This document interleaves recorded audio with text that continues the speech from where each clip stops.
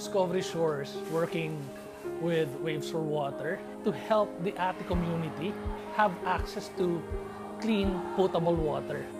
Part of our program was to wear Waves for Water shirt for several days. It caught attention. Guests would ask and say, "What? What's that? What's Waves for Water? What's?"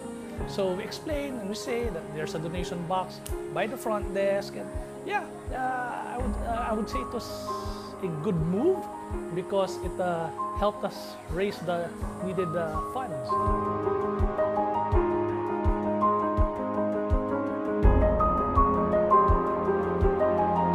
Ang pangalan ko po ay si Elorde ah, Magbanwa Vicente.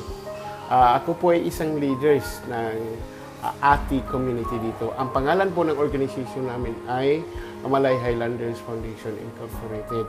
Ang ATI po na nakatira dito sa Carla, sa Carla po ay ah, 70 family. At saka yung sa iba-ibang ah, sityo ay may sa Ati Village, ah, bali ah, 14, ah, sa Bakiruhan at saka sa Suong pa po. Bali included po sa lahat-lahat ng population po namin ay 140 family. Ah, yung tubig po namin ay sa ngayon, may tubig po kami hinawasa. Ah, paminsan, na nagkaro- nagkaroon din po kami ng diarrhea ah, dahil po diyan sa, sa tubig siguro. Ah, para po sa akin ay napalaking halaga po ito at saka malaking tulong.